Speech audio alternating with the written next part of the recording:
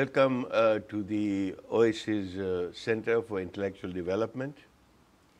We're here today with the world acclaimed artist and a well known philanthropist, Jimmy Engineer Saab. We're delighted to welcome you, Jimmy Saab, to uh, the Oasis Center.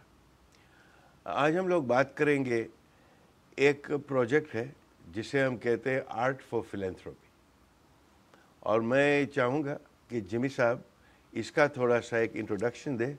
If you can introduce the concept of art for philanthropy in your own words? Actually, my life is based on philanthropy, and I'm happy that I am at the OASIS Center because throughout my career I have thought of social work and social work of different levels because I think people don't have idea which is the higher level of social work, which is slightly lower level, good service. People take that ambulances, hospital, it is good service. Social work of a level where you are helping people, but when the world knows about it, it is normal kind of social work. And the highest form of social work is when you are helping people and they don't know that uh, who is helping them and if you are doing social work in the name of the creator so that is the highest form of social work so we must first understand what kind of social work we want to do and uh, when we call art for philanthropy it is like using the art which i created for helping people who sometimes don't have anything.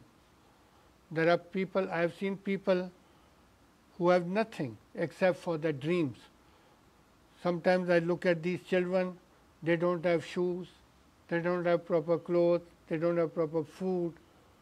And then I wonder, you know, that with so much wealth all over the world, still nobody wants to change their life. So we are going to try and change the lives of such kind of human beings through my art. So this art for philanthropy will be purely for charity work and whatever we sell all over the world we'll use for charity because ہم انسانیت کی مدد نہیں کر سکتے تو پھر ہماری زندگی بے معنی ہے۔ صرف الفاظ سے نہیں ٹھیک کر سکتے۔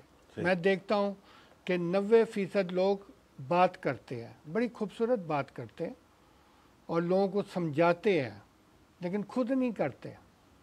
خود مدد نہیں لوگوں کو کرتے لیکن وہ خوبصورت مشورے دیتے ہیں۔ تو میں کہتا ہوں کہ ہمیں خود کرنا چاہیے۔ اسی لیے میں آپ کے ساتھ مل کر آپ کے آرگنائزیشن کے ساتھ مل کر میں وہ چیریٹی کرنے چاہتا ہوں جو اللہ کے نزدیک بھی جو صحیح ہے۔ انسانوں کے نزدیک تو ہوتی ہے لیکن ہمیں وہ چیریٹی کرنی چاہیے جو اللہ کے نزدیک بھی صحیح ہو۔ صحیح صحیح بالکل بہت بہت عمدہ خیال ہے آپ کے۔ It really is a very lofty idea uh, that uh, Art for Philanthropy was born out of a discussion that I have had uh, with Jimmy Saib over the last few weeks that he has been here in Houston. And we said exactly what he meant. What can we do so that we can become change agents? We can do transformation. And my whole, whole life also has been dedicated as a volunteer in many different charities over the last four decades and I have seen that there are charities and there are charities. There are those charities where you'd like to see your name plastered all over to say, many a charity here. And then there are silent charities where we are told our faith tells us that the right hand should not know what the left hand is doing when it comes to philanthropy and charity. So the website that we are going to create where people will be able to purchase the art that Jimmy Saib has done and by the way his art has sold in millions. And there are thousands upon thousands, he will tell you himself, of prints and the original art which is all around the world. What we will be doing on this uh, website would be prints which have been uh, drawn up by him. These are not original. I must make it clear that these are prints. But these are genuine prints that have come from the originals which have been approved and signed by Jimmy Saib. So this is what we are going to do to put it on the website and then we will have people buying those and what we are assuring our viewers is that 100% of whatever is collected through that art will actually be donated to various charities of our choice. And that is our mission at art for philanthropy dot اور channel جمی صاحب آپ اس اس کے بارے میں کیا کہیں گے؟ ایک آرٹ میں نے کریٹ کیا تھا لوگوں میں شعور پیدا کرنے کے لیے۔ جیسے پارٹیشن میری سیریز تھی۔ وہ میں چاہتا تھا کہ ہمارے لوگوں کو سمجھ آئے کہ جب اتنے لوگوں کی جانیں قربان ہو گئی جب آپ کے زمین میں اتنا خون بہہ گیا اور عورتوں نے بچوں نے مردوں نے بوڑھوں نے جوانوں نے اتنی قربانیاں دی ہے اور ملک حاصل کیا ہے۔ اور میں جب دیکھتا ہوں کہ ہم ملک کے ساتھ کیا کرتے ہیں تو مجھے دکھ تو ضرور ہوتا ہے۔ لیکن میں چاہتا ہوں کہ نوجوان نسل یہ پینٹنگز کو دیکھے اور اس سے کوئی سبق حاصل کریں اور دیکھ کر ان کو چاہیے کہ ملک کی زیادہ عزت کریں تو ایک تو میں شعور پیدا کرنے کے لیے کرتا لیکن میں چاہتا تھا کہ یہی پینٹنگ سے میں جنریٹ کروں فنڈز اور میں لوگوں کی مدد کروں۔ پھر میری آرکیٹیکچرل سیریز ہے۔ پھر میں نے کچھ ایسے کام کیے، جیسے اقبال کا جوید نامہ ہے لینڈسکیپس ہے، سب چیزیں اور اصل میں مجھے لوگ پوچھتے ہیں کہ آپ اتنی ساری ورائٹی کیوں کرتے ہو پینٹ آپ ایک چیز کیوں نہیں اسپیشلائز کرتے ہو؟ تو میں ان کو جواب دیتا ہوں کہ میں طالب علم ہوں، میں سیکھ رہا ہوں، ابھی بھی میں سیکھ رہا ہوں، لیکن میں کس کا شاگرد ہوں؟ میں اللہ کا ایک نام ہے المصور۔ سب سے بڑے آرٹسٹ ڈیزائنر فیشنر اللہ ہے۔ تو میں جب ان کا طالب علم ہوں، ان کا اسٹوڈنٹ ہوں تو میں ماسٹر نہیں بن سکتا۔ میں صرف طالب علم رہ سکتا ہوں۔ کیونکہ میں سوچتا ہوں کہ میں ساری عمر سیکھتا رہوں گا اینڈ تک۔ جب تک میری زندگی ہے، میں سیکھوں گا۔ اور میں اپنے آرٹ کو بہتر کرتا رہوں گا اپنی زندگی کے ساتھ ساتھ۔ تو اس لیے میں نے ہمیشہ سوچا ہے کہ میں صرف اسٹوڈنٹ ہی رہوں گا، طالب علم رہوں گا، سیکھنے کی وجہ سے۔ اتنے بڑے آرٹسٹ جو پرفیکٹ نیچر قدرت پرفیکٹ ہے۔ ہم امپرفیکٹ ہیں۔ ہم غلطیاں کرتے ہیں۔ ہم پرفیکٹ لوگ نہیں ہیں۔ لیکن نیچر پرفیکٹ ہے۔ تو بس میں پرفیکٹ ماسٹر کا ایک طالب علم ہوں۔ تو اس لیے میں اپنے جو آرٹ کریٹ کرتا ہوں، اس میں میں کوشش کرتا ہوں کہ میں اچھا سے اچھا کریٹ کروں۔ اور اس کریشن میں سے ہم لوگوں کی زندگی بدلیں۔ ہم جو لوگوں کو تکلیف ہے، ان کی تکلیف دور کریں۔ تو میں، میری ریکویسٹ ہوگی کہ جب یہ ویب سائٹ لانچ ہوگی، جب میرا آرٹ فور سیل ہوگا، تو لوگ بڑھ چڑھ کے اس چیز کو خریدیں۔ ناٹ صرف یہ سوچ کے کہ یہ آرٹ پیس ہے، لیکن یہ سوچ کر کہ اس سے کسی کی زندگی بدل سکتی ہے۔ دیکھیں جی صاحب you are an acclaimed artist یہ تو آپ کی ہیوملٹی ہے، آپ کی انکساری ہے کہ آپ کہتے ہیں کہ میں طالب علم ہوں. But to us you are a master of the talent that you have جو آپ نے پینٹنگز کیے ہیں دنیا بھر میں مشہور ہیں. اور ہم یہ چاہتے ہیں کہ ان پینٹنگ سے لوگ کچھ نہ کچھ علم حاصل کریں. اور جیسے آپ نے بتایا کہ جو آپ کے پارٹیشن کے پینٹنگز ہیں، خصوصاً They touched me very much when I first saw them. Because I could see the pain. کہ بھائی اس میں کتنا درد ہے ان پینٹنگز میں تو میں یہ پوچھنا چاہوں گا کہ آپ نے یہ کیسے آپ تو تھے نہیں پارٹیشن جب ہوا آپ کی جو پیدائش پارٹیشن کے بعد ہوئی تو آپ نے تو یہ دیکھا نہیں تو کیسے یہ آپ نے اس پین کو اور اس فیلنگز کو اپنی پینٹنگز میں کیپچر کر دیا 70s में I used to get dreams of uh, killing, burning, mass migrations. But I was not born in 47, neither I knew about 47. I didn't know anything about 47. I was born in 54. So, when I saw these images in my dreams, I used to wonder okay, why every day day after day, I am looking at blood dripping, people being massacred, village being burned, trains being burned, women being massacred, killed, women. So I used to wonder okay, why every day in the early 70s I was looking at these images in my dream. So then slowly, slowly I tried to understand okay, this is something related to partition, 47. But why I am seeing in my dream is the reason that nature wanted me to create these paintings so that I could educate people. Okay, this is what happened. But it should not happen like this.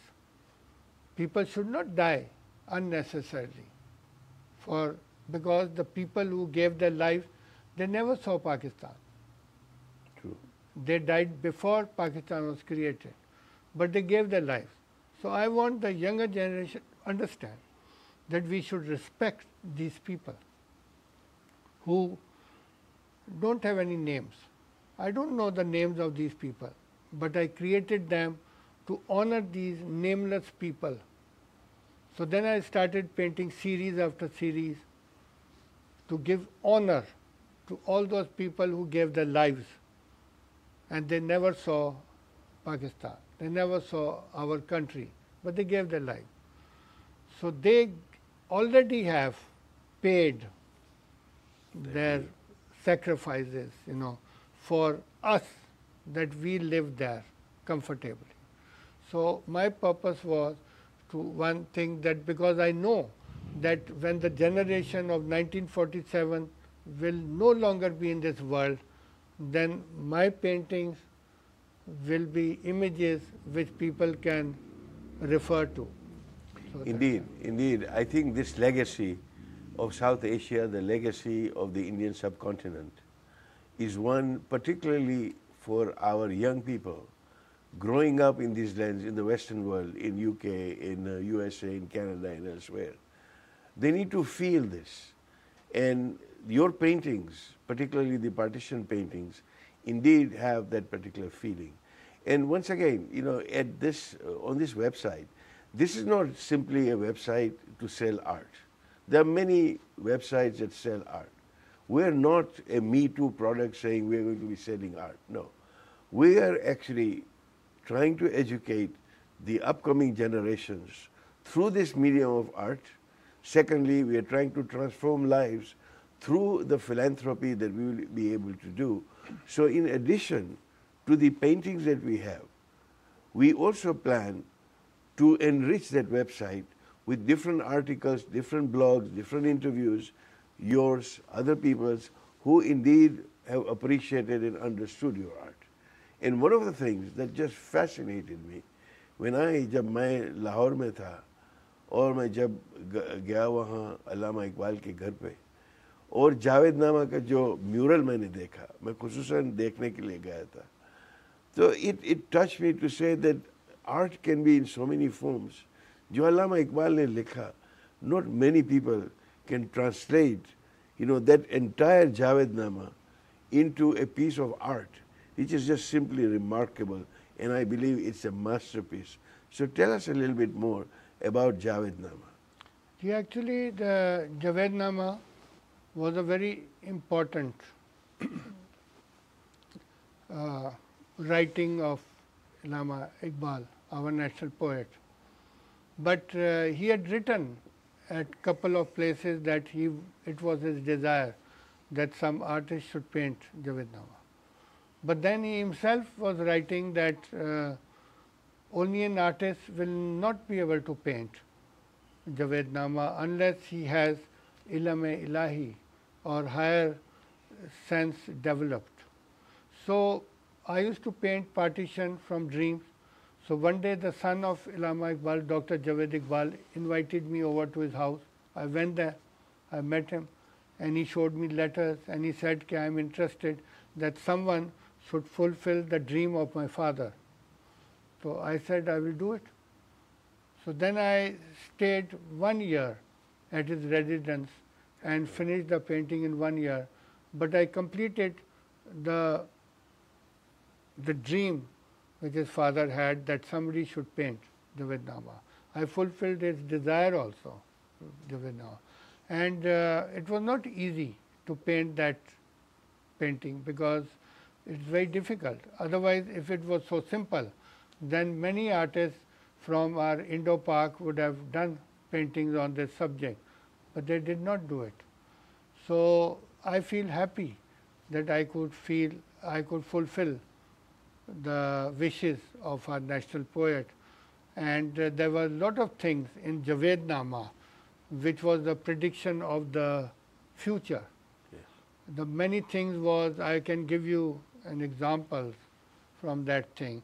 Like when I was painting, then Russia was one country. And I painted the symbol of Russia on the globe and somebody asked me, what is this? So I said, this is breaking of Russia. But when it happened later, then people said, oh, that's true, it happened. Then there were a lot of things like when Allama Iqbal and Rumi reached Mars, mm. the scientist was asking that how come you have come to Mars? So he's saying that humans have progressed and they have come to Mars. There are many other things that uh, are important for future that the uh, the Muslim countries are not united. There was a celebration of the old gods who were rejoicing that all the Muslim countries are not united. So they are rejoicing. So all these things you can imagine that he wrote so many years back when there was nothing like this and uh, still predicted all these things in his poetry. Indeed. And I was able to paint it. So it was an important thing. But one thing I want to come back to this sure. partition thing. Yes. I will tell you an interesting thing that when I first exhibited two of my paintings, in a exhibition which had many other artists, I saw humans standing in front of my painting with tears. And I was looking at them carefully why they are in tears. So I asked those people why the tears in your eyes. They said we are thinking of our mothers, our grandmothers, fathers Indeed. who were slaughtered, killed. So those tears at that time gave me enough encouragement that what I have painted, if it can move people, if the, I have given respect to their memories, so then I think I contributed, my intention of contribution was in the right direction. So that was the thing. Wonderful. Yeah, I think that is uh, so very noble and absolutely Allama Iqbal was such a visionary. That's why, you know, he is, he really is called the poet of the East. To me, he's a universal poet with, with what, what he has. And one could, you know, equate him to the thoughts of Maulana Rumi as much as. The sad part is that Allama Iqbal is not as well known as Rumi is in the Western world. Today, Rumi is the best read poet in, in the USA. But we need to redress it. And through some of these works of the rich treasures of South Asia, of the Indian subcontinent, that we have a responsibility to not only promote this, you know, to the wider Western society, but to me, more importantly, that these values are inculcated in the South Asian diasporic generation that is growing up here. I'd like you to also tell our viewers about a couple of these architectural paintings what is it? What is you know? How do you uh, compose? For example, we have this painting here. Just give us a, a little flavor what this is, because we have a number of architectural paintings and the prints that, that are present here at the Oasis Center. Actually, I always try to create things which are original, original ideas, original philosophies.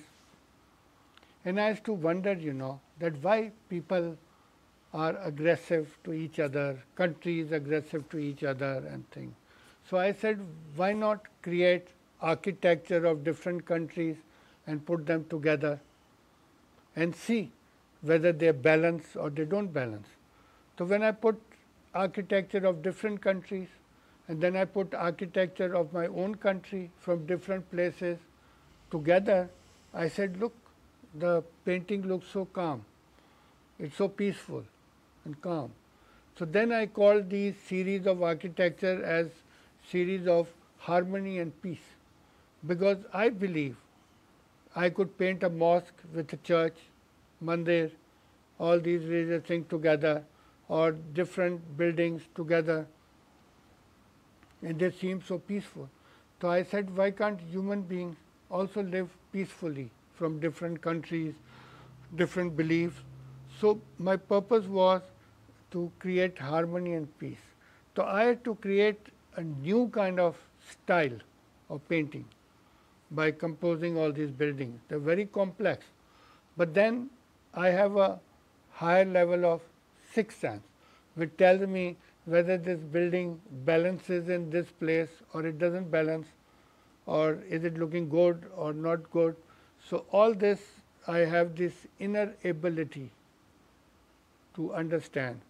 So I was able to paint these very complex kind of paintings, and they were not easy because they are very complicated. But then I was able to paint over 70 paintings of this nature of peace and harmony, architectural series, international, local, to create a new kind of dimension, new kind of style in the world of art. So I created this painting as bringing countries, people together by architecture. So let's look at this painting, for example, that we have behind us, maybe a couple of these. Just give us a little glimpse in terms of some of the features that one should be looking for in a painting of this nature. I was looking like, you know, the buildings which had domes. Now, if you place the building which have domes not in the right place, they would not look good. So I had to select every place to be the right place, like you see the domes coming down like this. Yes. So it has a balance. Now if I put something here, there, everywhere, it wouldn't have been balanced. So to balance also, every architectural painting has a balance. And every building is balanced with the next building. And if I wouldn't have balanced it properly, it wouldn't look good. So you can just imagine 70 paintings to check that they are balanced properly, Oh. their colors, their form in the right place was also very challenging. But because this is the way I see, because when I was young, when I started my career, I could see uh, images on empty surfaces. I could imagine. I could imagine, if I look at the sky, I could imagine images in the sky. If I look at the walls, I can see the images. I can see the complete image there. There's nothing there. So the same way on the canvases, I can see images, how, where I should place and how I should, even if you see my partition, everything is very balanced. There's nothing jumping up and down or something disturbing or things like that. So this was my training of my inner ability to put things in the right place and the colors, the form, everything should be in the right place. So like I'll give you example, in this painting there's a church, there's a mausoleum there, there, and there is a church here. It is next to a railway station here. So in the same way, there are paintings, then the mosque is there, up there, there's a mosque, church. So I brought everything together, things of different religion, beliefs, everything together. And they are looking very harmoniously. So, so I think that the world can take example from these paintings Indeed. that we can all live harmoniously whether we belong to any religion Yes. or any belief. Yes. So the website will actually contain descriptions of every one of these buildings that are in the painting so people would understand the whole idea of harmony. So Jimmy Sahib, to, um, to bring this um, uh, segment to an end, uh, there is one painting that also touched me very much when I first looked at it, and that is the painting of the fasting Buddha. What was your thinking behind? Uh, I think we have the fasting Buddha uh, the- right there. These Uh, are paintings related to old civilization. It's not only Gandhara. There's Mohenjo-daro there, there's the priest and there's the fasting Buddha. Because, you know, uh, we neglect things of the past. We neglect. We sometimes go to the museum to see, and sometimes we neglect. So I wanted to give importance to the old civilization, Gandhara, Buddha from the Gandhara period, then Mohenjo-daro and all these things. So to give importance to the old civilization, I painted the series. I painted many paintings. There are only a few here, but I painted many which have not been documented also. Because I wanted to preserve the past. Because people without understanding the past, without understanding history, cannot move forward. So we must learn actually what happened in the past. And we should try and improve for the present and future. So I painted these old civilization paintings because I found them very artistic and there also composition is very challenging. Not easy, it's very complex. All these compositions are very complex kind of composition. But I manage them well because uh, as I told you that I can see things on empty surfaces so I can easily manage these things. So talking about the future, and indeed history is very important. Without history, we don't know. If you don't know where we came from, then it's hard to know where we are going. So with that background, the last um, uh, thing that I'd like to know, what's next, Jimmy Sahib? About my in terms of uh, work the, or my uh, the the next paintings that, that you see, or, you know, on this wall at the Oasis Center, what's next? See, nowadays I do a lot of abstract paintings also. Colors, play with colors and things, and all those paintings are usually done for charities and things. Or they are the Allah paintings that I do, that also in my own style and things. So I keep changing also styles, technique. As I told you, that I take the liberty of changing styles because I call myself a student. So student can take the liberty of changing anything and learning. So I have things that I will paint more abstract, maybe landscapes, maybe these uh, human forms and with colors and all, or maybe architectural, because uh, there is a limit to a human how much he can do. And I think that uh, whatever I did, I tried my best and I put my 100% effort. And uh, I never wanted to only be an artist. If I only was an artist, I would have lived a different life. I would have had a different kind of thinking and my approach to everything would have been different. But since I uh, collect money through my art to help people, I have to lower my level of thinking. I have to be at the lowest humble level because when you are helping people, you cannot show arrogance. If I was only an artist, maybe I would have uh, thought differently. I would have met people or not met people if I wanted or not wanted. 90% of a well-known artist, if you study their life, they are like that only. But since my life was different, my life was to help people, my thinking was different. So in future, I will keep working till Allah gives me life because He had given me a second chance at the age of six to live. So how so? I have tell so us, much- tell us how. what? Tell us how. That he because gave you a uh, when I was six years old, both my kidneys had become stone, did not function. So I had maximum to live for two months, and there were so many children at that time having the same problem.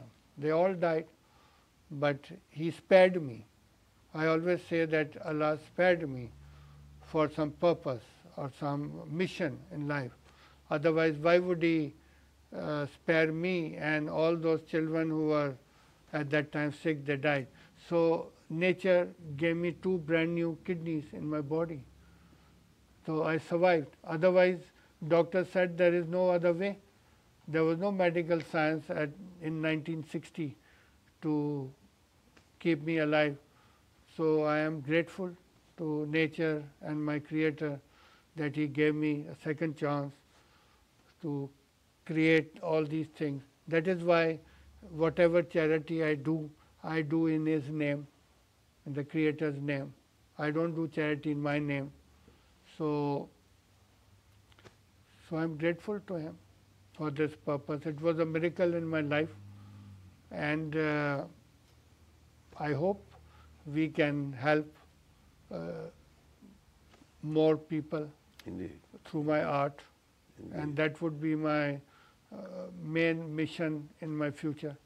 It's very inspiring um, to be with you, uh, to know you, and to look at the lofty ideals that you have, which are certainly worth emulating.